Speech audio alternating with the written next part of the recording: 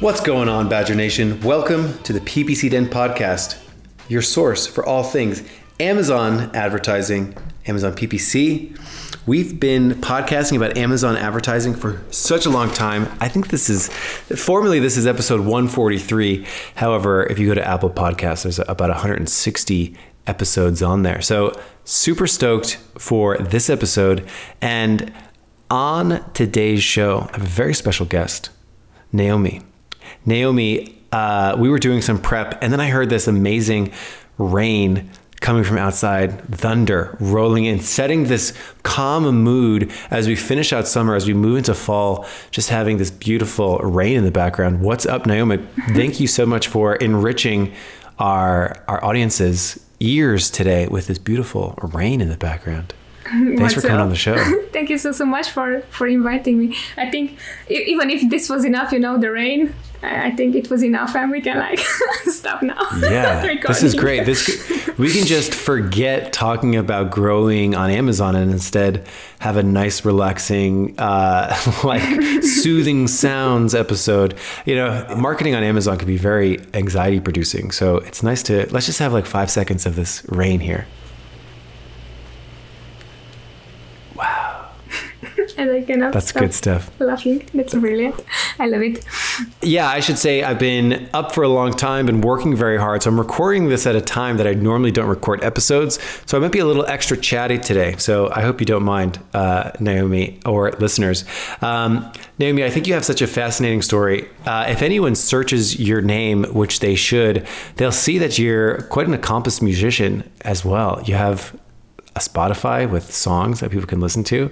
Um, I love it. That's awesome, and I'm so ex- I'm I'm really eager. And why don't you just bring people up to speed in terms of who you are uh, and your experience with Amazon? Are you a marketer, a business owner? Tell me a little bit more about that.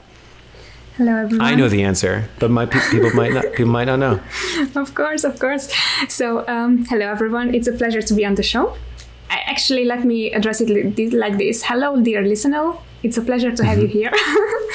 um, yeah. So my name is Noemi. I am a music producer. I have. I mean, I have a background in music production for the past eight nine years as i was uh, chatting with michael right before recording that's what i've done uh, so far i I started Amazon two years ago, and since then I fell in love with ecom and with, as I was saying, Michael as well, PPC and marketing and everything that is around this topic. I am loving it. It's very, very exciting, I would say. And as I was saying, saying Michael as well, I cannot breathe, I cannot sleep, I cannot eat. I'm loving it. So I think that that's good. I'm super passionate, as you can see. So I kind of mm-hmm. like told you everything about my whole life. Yeah, and you are the co-host of another exceptional podcast, uh, Wizards of Ecom, uh, which is awesome. Um, which is a really cool podcast. You guys talk a lot about different topics, and it, it seems you have a really big breadth of topics that you talk about. Uh, whereas this show is all about Amazon PPC. I think it's really cool how you've touched on a lot of different topics. Um, how has that journey been for you? Just like being able to get exposed to so many different topics every week. I think it has been really great. I'm loving it. Um, I think that I was very, very nervous first when I started because Carlos was so Carlos Carlos Alvarez is the main host of the show, and he started this like he was in I'm I think I like one year or something like that beforehand, you know. And I was a, an avid listener of the show beforehand, and it was like wow, such a like pleasure for me to actually join and become a co-host. And now we're just really crushing it. So as, I, as you were saying, so I'm super super stoked to like bring all these high quality guests. You have been one of those high quality guests to to our listeners, you know. And um, it's been doing great, and I love it. And as you said, I think the only reason why we are like kind of like all over place or not necessarily all over place but we didn't really niche down as you. For example on ppc we kind of niche down on e-commerce and especially uh, that is a topic that is like super super relatable to everyone yet it's like it's very like um, multilateral I would say. Like mm-hmm. said that right. So it's like it, mm-hmm. it you really have to master many things. It's not only PPC. Like for example, for you PPC related, you know. So I think that's uh, helping us to one find easier guests because it's like many more topics. You know, it's not one pro but like many to choose from. And the second, it's um, yeah, as I was saying, unfortunately we cannot afford as Amazon or as e-com sellers to master only one topic. You know, so. Um, mm-hmm that's that's why I think. Does this make sense? Absolutely. And when I asked you before we started recording on, you know, what are you most excited to share with Badger Nation out there for what you feel like could be one thing that people could finish up the episode and go straight to their keyboards and start mapping something out, actually doing something that would improve their Amazon marketing. We're going to touch on that in just a few seconds. So I'd love I know what the answer is, but I love what you're about to share.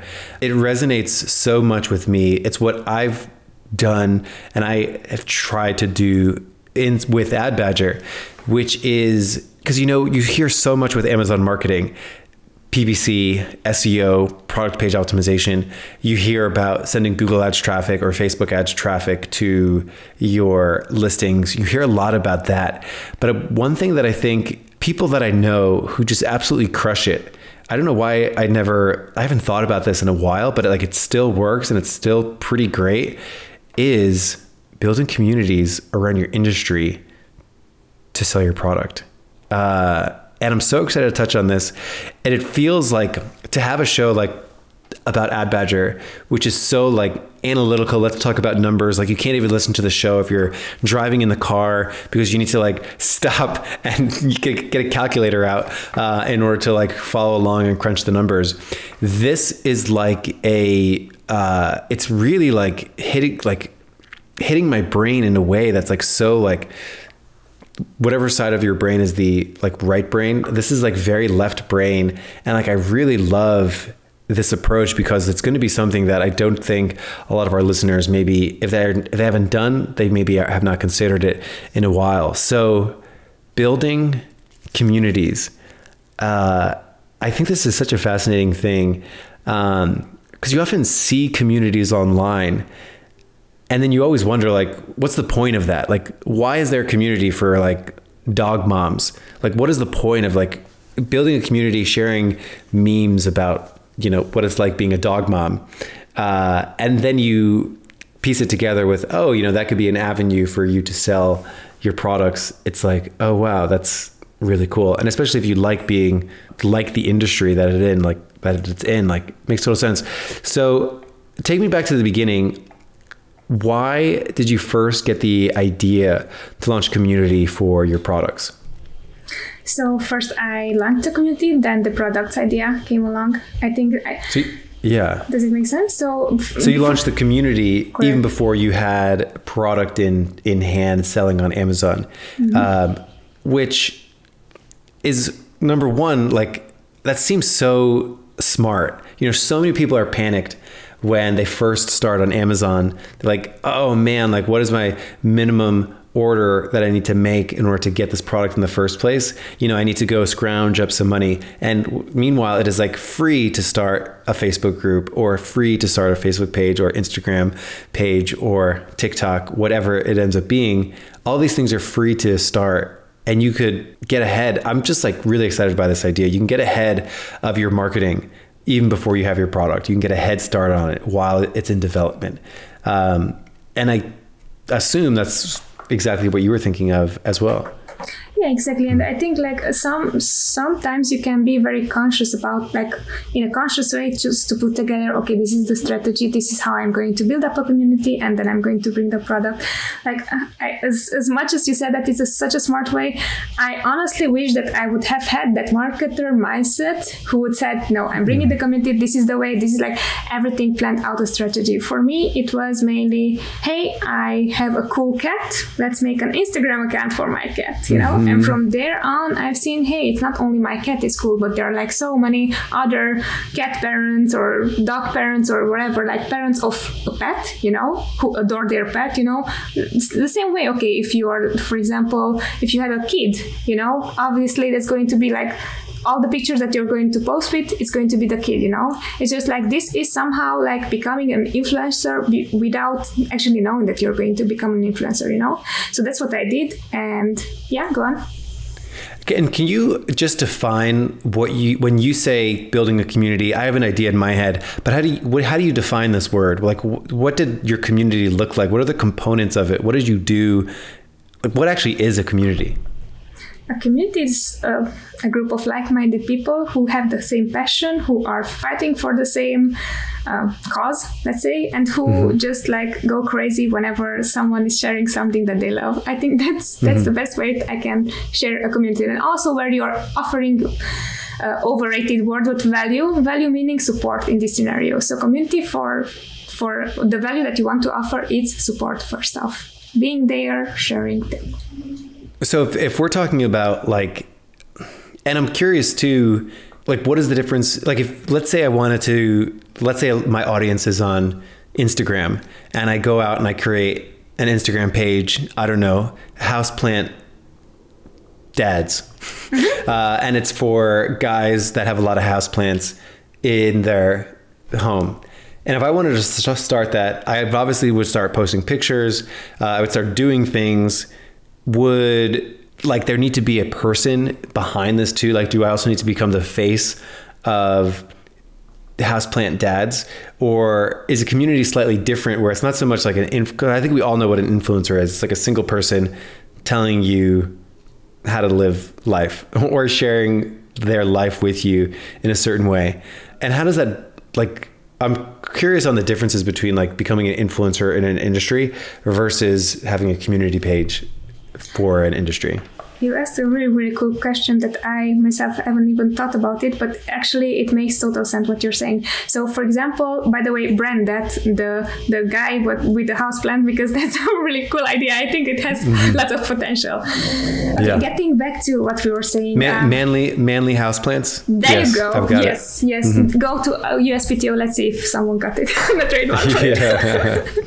mm-hmm. No, but seriously. So what you were saying, I think it's super super important because I've also have built a community, but I also have for our cat um, their own Instagram account, and they are influencers. And you just pointed out something super super interesting. I think that it has to do a lot with uh, people like to see people, like to know about people, and like to see what they're sharing in the same time for example if i'm building a community it can be like different type of types of, of communities for example what i built and i am mastering let's put it that way with all the shameless like who am I, you know, aside. Mm-hmm. What I love doing, there you go, uh, is building communities communities that are cur- curating content, you know. So that's one type of community that's going to share mm-hmm. everything that is not theirs, basically, right? That is one type.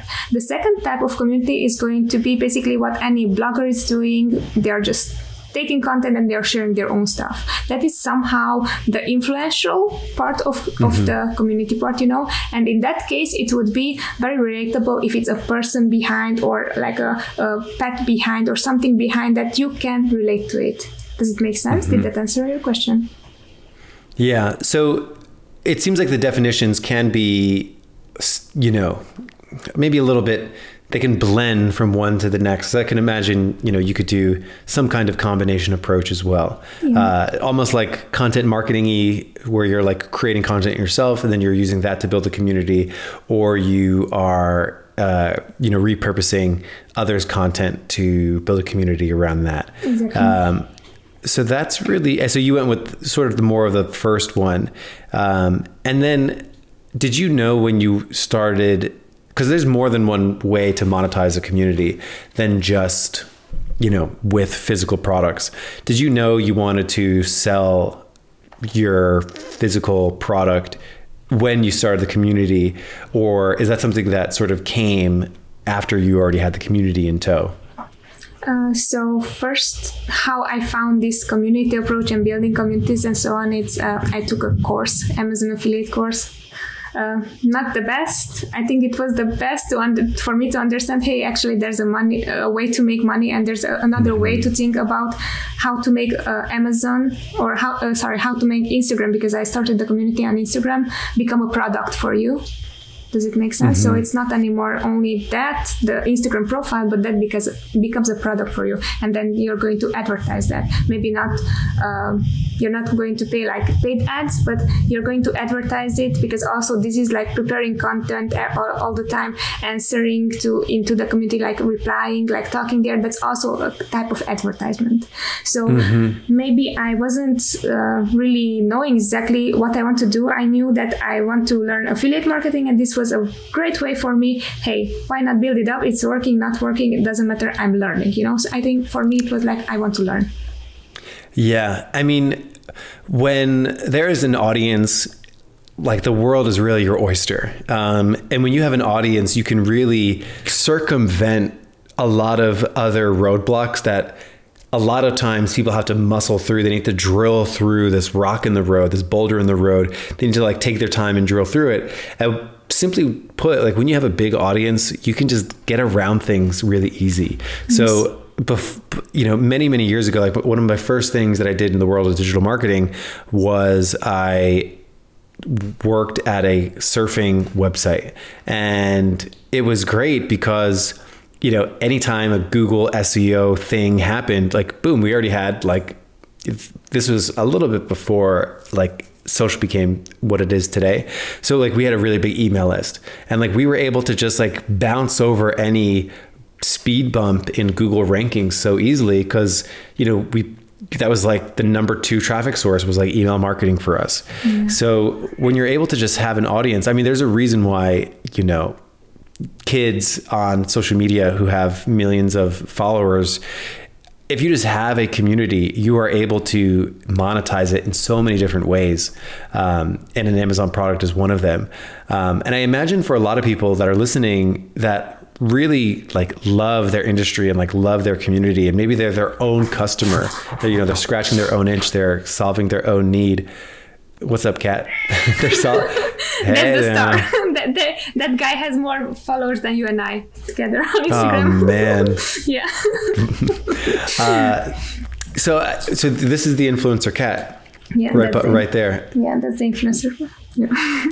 so yeah so like when you have an audience you're able to do so many things with it and go in any direction that you'd mm-hmm. like. So it makes total sense. And, and i mean in terms of the practicality of that like is it really as simple as you know building an audience which i assume you know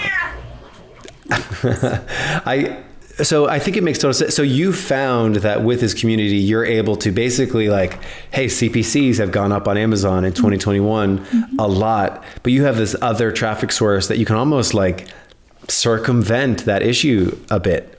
Uh, and is is that generally how you found having this like golden source of traffic? Be able to like bounce around some of these dips in organic or PPC issues or anything like that. Yes, so most definitely, as you were saying, also like uh, maybe most of the time, like you were giving the example with email lists and so on. For example, as as much as I would love to see, yes, I, I was super like I knew exactly how to do that and how to build up an email list. Unfortunately, that might not have happened because I knew how to build up a community, but I wasn't a marketer. I wasn't thinking like a marketer, you know. And now, as you say, hey, ACOS is high. What am I doing? So that was my first thing. I already am sitting on a gold mine, and it's funny that you were also saying that you actually have people who can who you can bring your product to, right? Uh, I was having um, after the in-person meetups, you know, with um, the wizards, you know, after like each, we have each Saturday we have meetups in person, you know, it's super cool. And afterwards we're going to a place called Bonefish, and that's well, that's actually when the action is happening because that's the community actually, you know, everyone starting talking and so on. So to make the story short, um, we were just talking about okay Instagram, and I said okay I don't know what to do. I honestly don't know what to do. My ACOS is just so so high. I like I'm losing money. You know what to do now. And from imagine this from a product that did really really well, and within a year, as I was saying, almost doubled, double and a half the ACOS, you know, and it's like what to do next, you know. And uh, a friend, Ramon, if you're lis- listening to this, like shout out to you. So a friend was saying like, hey, you already have a community. Like, what are you doing, you know? And I was like, heck yeah, like why did I neglected that, you know? So then I was like, hey, we already have these people here. Let's just reach out. Do you want to, to like review my product? Do you want to see? Do you want to, you know, like the influencer stuff that everything that I knew exactly how to do, but I didn't use it because I was so focused on Amazon like learning Amazon, understanding Amazon, because Amazon is like a beast that's changing from second to second, you know. As you were saying, hey, like anyone listening or dear listener who's like listening right now, be aware that Amazon is just a sales channel, and if you you can be like amazing at it and like have service or Michael or Adventure and so on, have people who are brilliant at it, but at some point even they cannot do more because Amazon it's a pay to play game. Or it started to become a play to play game you know? And if you don't have like a backup plan as i was saying with the community with build up building up like people who are really raging raving fans of your product really? This how? Mm-hmm. okay so then it's going to be very very hard for you you know? Even if and i'm saying this and i'm talking from someone's perspective who uh, as i was saying really wanted to learn and really learned a ton of things during a year and a half, two years, you know. And I've seen I'm give I've given my best and it's not working anymore. So if you're not having a community and if you're not thinking right now once that you stopped listening to the podcast okay what can i do as, as, michael was saying what should i do right now sit down take some notes take okay what do i have right now already here here in my pocket that i can use you know and if mm-hmm. the community can be that make it possible because otherwise, you know, it's going to be hard, really, really hard. It's as I was saying, pay to play game and each platform. I also imagine, like, just from the things that an entrepreneur needs to deal with on Amazon, uh, you know, especially a solopreneur with so much, you know, bureaucracy and and things to to hoops to jump through yeah. on Amazon. I have to imagine that this the community side of things is probably like the most fun is it like i can imagine like if i was selling like bird watching binoculars and i had a instagram page about like cool birds like how fun is that um, i have to imagine this is probably one of the most fun things that you've done in your entrepreneurial journey most definitely and i also like would add there. So i think that there are like different type of sellers once they are going to enter let's talk about only the Amazon platform because most people are referring to themselves as Amazon sellers. We're not talking about e-com sellers, we're talking Amazon sellers, right?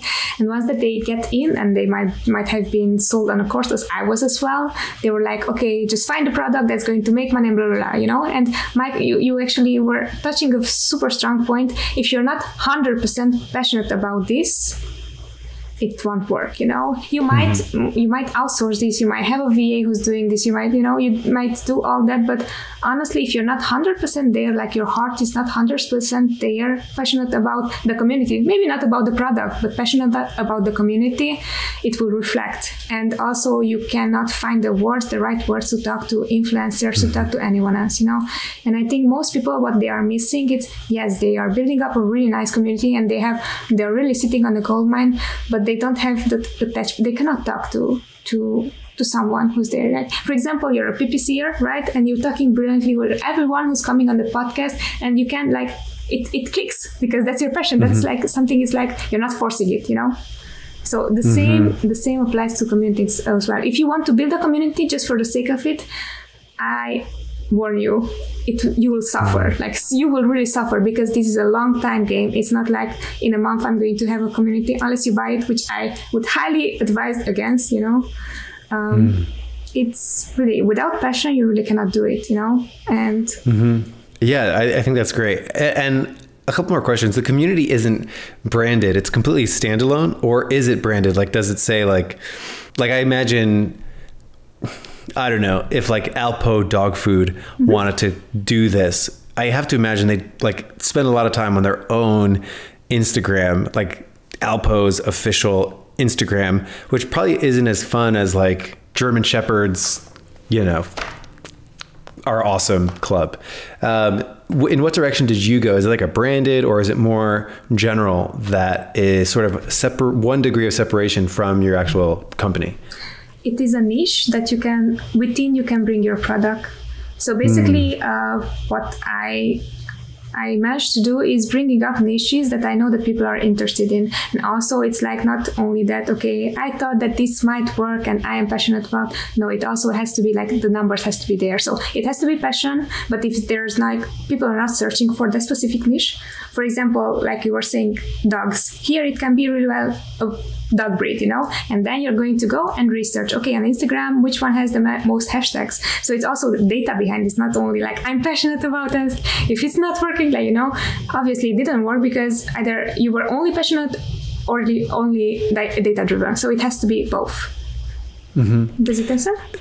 Yeah, yeah. So for anyone listening out there, you know, they're selling on Amazon, what advice would you have for them if they're sitting there and they're sort of scratching their head and they're wondering like, is this a traffic source I should invest in? What kinds of things do you have to say to them to help them make that decision? First of find out where do you place yourself. Maybe I don't know, maybe I'm just looking to my Mac here. Maybe you're very into gears or gadgets or whatever. Maybe you're a musician, maybe you're I don't know, maybe you're a dog parent or cat parent or whatever take the niche and see where is the most data and see how, how can i bring my product here so there's no such thing as my product doesn't fit somewhere maybe you're selling the clear the shower curtains or let's let's put it that way. It doesn't really matter if you can bring to someone who's interested within your audience about things that that shower curtain could actually help with. Maybe it's not only about shower curtains, you know, but it's like uh, maybe it's bedroom ideas or bedroom design ideas or something like that that's really niche, you know, it, that's also not only really niche but also has a, a, very high amount of keywords, similar to what's happening on Amazon as well, like PPC wise, right? It's a great niche, but also it's like not not everyone is doing it, you know. So just niche down and look, this is a great way to actually bring your product within a community that already is there because think of it this, this way. You're not going to build up everything from zero. Whenever you're going to go and find a platform right doesn't matter which one it is i would highly suggest to go and see where your audience the current audience you have is on already now and see within that platform okay hashtags okay? And then you're seeing okay which one is the highest amount of hashtag and would fit within your niche.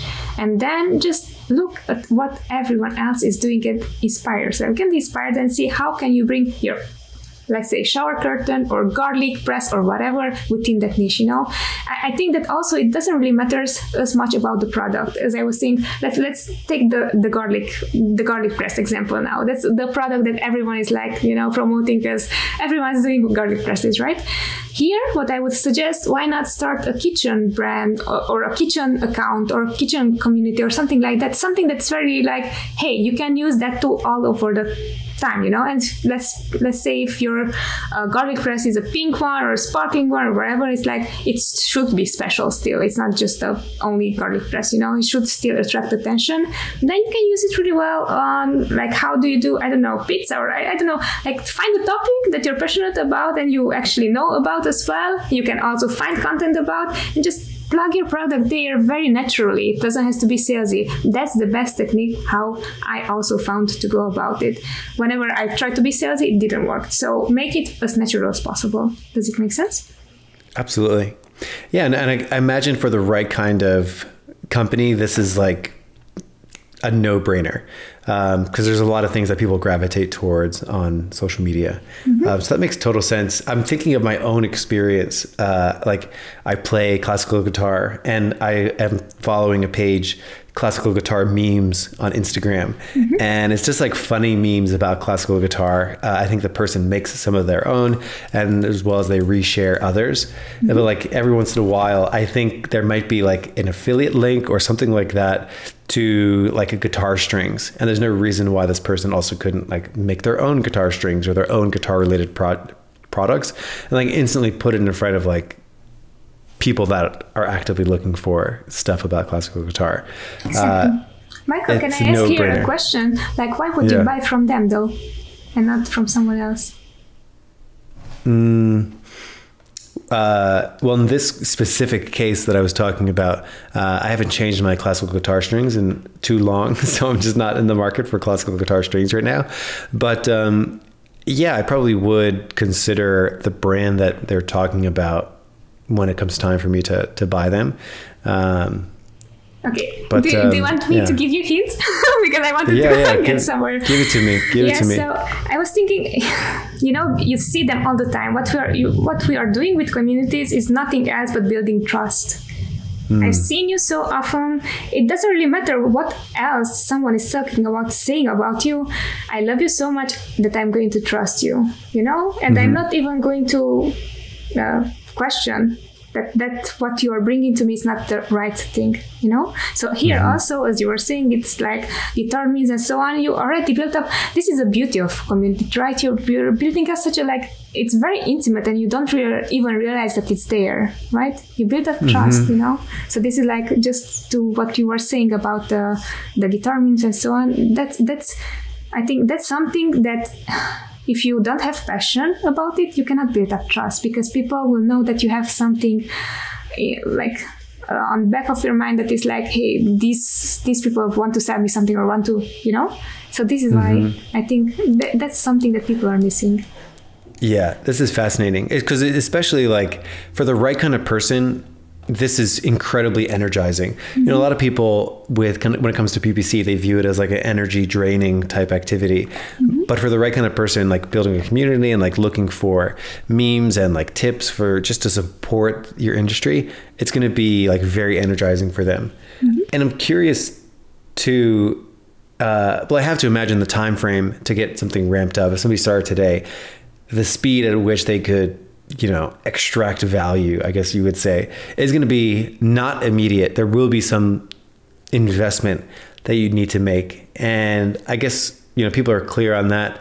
But your own judgment is that that investment is well worth it Yeah. over time. Mm-hmm. Yes, and also maybe you can learn from my mistakes if I would, would have done, I could have done better because like I I built up like different communities as well, you know, in different niches. But I noticed that more you post, then higher the engagement rate, and also if you're being there all the time and, and really pro- providing quality content, people will notice that. So that also can really like bring up a lot your profile. It doesn't have to be six months, 12 months, two years, you know, it can be way faster. It's just like knowing exactly what you want. If that's what you want to build up fast your profile and fast your community, you can do. But don't don't forget that you're, what you're building up it's trust. It's not necessarily like numbers, you know. And trust can be gained only with time. Beautiful. Uh, so Noemi, people can find you on the Wizards of E-commerce podcast. Uh, is there anything else you'd like to mention here for our audience? Where else they can find you? Um, no, I think that would be the best way. So we have a very, very active Telegram chat called um, AmazonGroupChat.com, and that's somewhere where I am most of the time. You know, Carlos is there most of the time. Most of our wizards are there most of the time, and they are super like uh, we're doing very, very similar thing to what Michael is doing. Only that we are not doing only for PPCers or PPC lovers, but for ecom lovers in general. You know, so we are on the same concept of in your case PPCers helping PPCers, in our case sellers helping sellers. Awesome. Well, Noemi, thank you so much. Have a good one. And I'll see everybody else here next week in the PPC Den podcast. Thank you. Bye bye.